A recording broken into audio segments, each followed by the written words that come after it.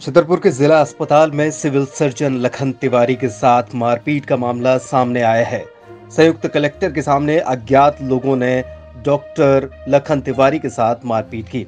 मारपीट की घटना के बाद अस्पताल के डॉक्टर और कर्मचारी इकट्ठे हो गए और आरोपियों पर कार्यवाही की मांग करने लगे। जानकारी मिलने पर जिला पंचायत सीईओ बी सिंह सहित पुलिस बल मौके पर पहुँचा।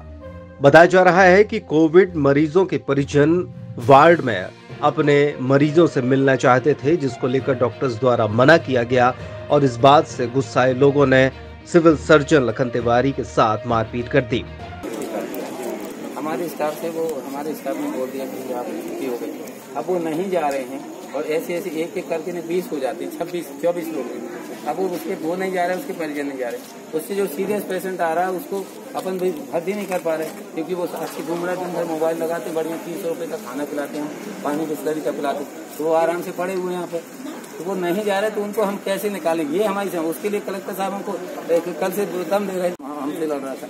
तो हम जाके उसको नहीं गए तुम बाहर तो छह वहाँ जब अलाउ नहीं है कोरोना वार्ड में परिजन तो परिजन क्यों घुसे हुए हैं? नहीं वहाँ अलाउड करना तो ठीक है चले भी जाओ आप।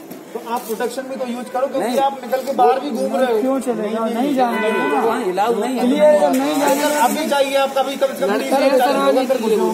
उसको उनको हम कैसे निकालें?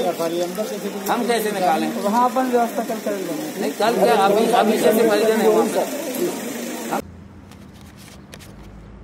Now stop that and eat your breakfast.